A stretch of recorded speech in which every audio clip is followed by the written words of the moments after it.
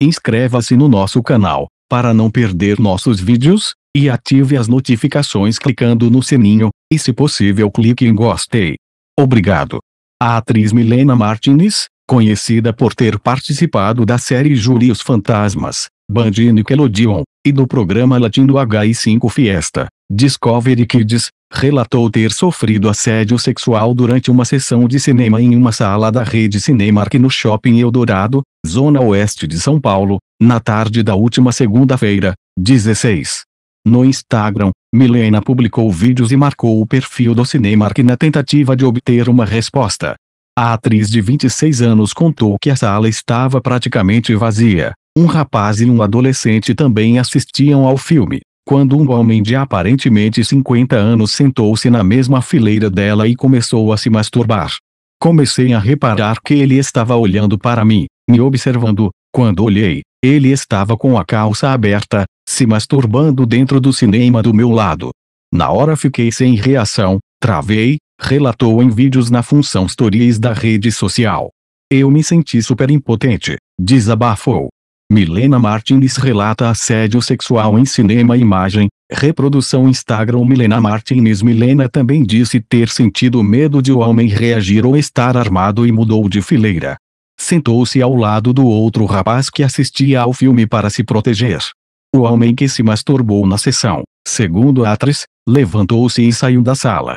Ao final da sessão, ela contou o caso ao rapaz e ao adolescente e pediu para sair acompanhada, temendo que o homem estivesse à sua espera.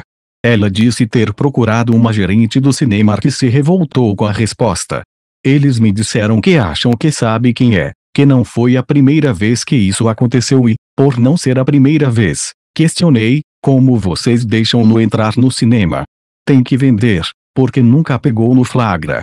Conclusão: esse senhor vai continuar a comprar ingressos no Cinemark, entrando na sala e fazendo isso com as pessoas.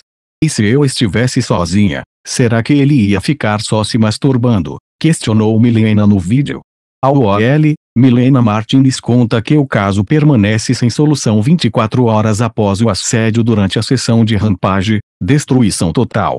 O filme era em 3D, mas ele não usava os óculos.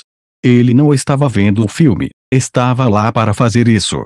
A vida dele seguiu normal e a minha não. Sai chorando, lembro até agora a cara dele, recorda. Assim que saiu da sala, Milena relatou o assédio para os pais e o namorado, o ator e dublador Caio Guarnieri. Ela também tentou uma resposta do Cinemark comentando em uma foto do filme Rampage publicada pela rede de cinemas, mas não recebeu retorno e ainda leu uma seguidora questionar por que a atriz não chamou seguranças. Já sofri abuso de um vizinho que me olhava pela janela e deu caso de polícia, mas foi a primeira vez que vi em um lugar público. Sempre achei absurdo ver assédio no ônibus, no metro. É uma coisa que a gente acha que nunca vai acontecer, diz Milena, inconformada. Procurada pelo OL, a rede Cinemark diz que lamenta o ocorrido e informa que reforçou os procedimentos de segurança para que casos semelhantes não ocorram novamente.